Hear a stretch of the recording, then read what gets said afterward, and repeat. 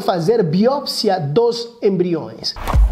É muito importante a gente entender que não todos os embriões têm a mesma capacidade. Eu cheguei lá, fiz uma fertilização in vitro, fertilizaram os óvulos, alguns viraram embriões, evoluíram durante 5, 6 dias e formaram aquele blastocisto. Todos os blastocistos têm o mesmo potencial? Não necessariamente todos têm o mesmo potencial. Não têm todos a mesma capacidade. E o principal fator para isto é a capacidade do óvulo de dividir os cromossomos. E o que, que são esses cromossomos?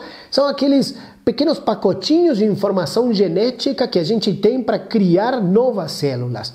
E esses, essa informação cada vez que nós vamos criando novas células, esses pacotinhos vão se dividindo, vão se duplicando e vão passando informação para todas as células. E quando temos alguma alteração, quando temos maior idade, os óvulos ficam um pouco mais cansados e fica mais difícil eles fazerem essa duplicação de informação de uma maneira mais simples. Então, quando as estruturas do óvulo ficam mais velhas, existe maior dificuldade para dividir essa informação. Então, dessa maneira, nós teremos células que terão alguma dificuldade para utilizar essa informação, porque essa informação pode não estar correta.